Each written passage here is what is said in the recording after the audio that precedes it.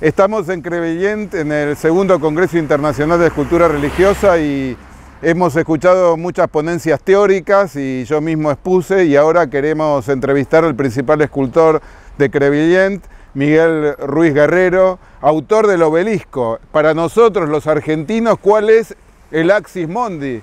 El, el eje del universo, el obelisco de Buenos Aires. Eso creemos, porque Hemos visto otros obeliscos en Egipto, en Washington y aquí en Crevillent, el autor del obelisco de Crevillent. Vamos a conversar con él y nos va a explicar cómo realizó este magnífico obelisco, que no es como el nuestro de Previs, sino que tiene otros materiales más afines a, a nuestra época de la posmodernidad.